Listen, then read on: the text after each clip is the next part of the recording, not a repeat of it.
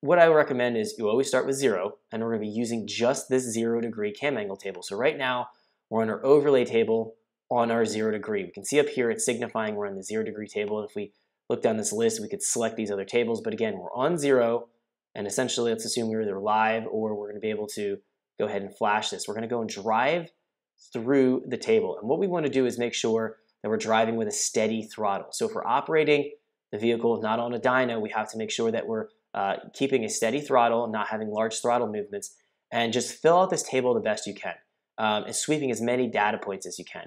So what we're gonna do after we've done that, populate this table, we're gonna go in and then make changes based on blending the table smoothly. So if we find that this area right here might show it's pulling out 8%, negative 8%, negative 10%, negative 2%, negative 5%, we're gonna call this an overall change of maybe something like negative 5. We'd highlight it, Control J, and hit negative 5. And then we move on to the next section. We might find that certain areas are going to be maybe showing that need some more fuel. Certain areas might need to be turning down fuel. Because we've made all of these fuel lines here in the 2D two-dimensional table, all of our columns here of fuel, going to be the same. What we're going to find is we should be able to apply broad changes across an area. So for example, you might find that this area here between 27 to 35 needs to have fuel taken out. But then at 45 to 55, we might have to add some fuel in. What you shouldn't see is bits and pieces of this table, such as a section here might need some more fuel, and then a section here might need less fuel, and then a section here might need more fuel. You're not gonna have that kind of behavior. What that's gonna indicate is you have sampling problems in your wideband to the overlay table. So what you would wanna do is jump into your options, jump into your settings. We're gonna go in here to our sensor, or to our, I'm sorry, to our lambda overlay.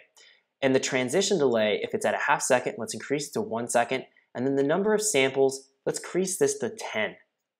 And then we're gonna click OK. And what we're gonna find is it's gonna filter out any kind of uh, unwanted rapid throttle movements or, or changes that would change the amount of the air fuel that's gonna represent it better in the table. So the larger number of samples we take, the more accurate the air fuel is gonna be per cell point. So if we find that we're finding we have a, a hot, some uh, a fuel right here is going to be taken out, and then some fuel is going to be put in here and then taken out, or scatter amounts in the table. Again, that's going to indicate that you have to increase your number of samples and your transition delay so that you're going to plot more accurate data. Now, once you've done that and you've gone through and set up your overlay table here, the next step is going to be to copy and paste this entire table here of your zero degree. We're going to copy this. We're going to use our two points here. This is going to bump us up into the next table. If we hit this plus, we're going to be operating now into 10 degree. Alternatively, you can always go into here and select 10 degree. And what we're going to do is Command V, and we're going to be, or Control V, and we're going to be pasting our low 10 degree table into our 10 degree table.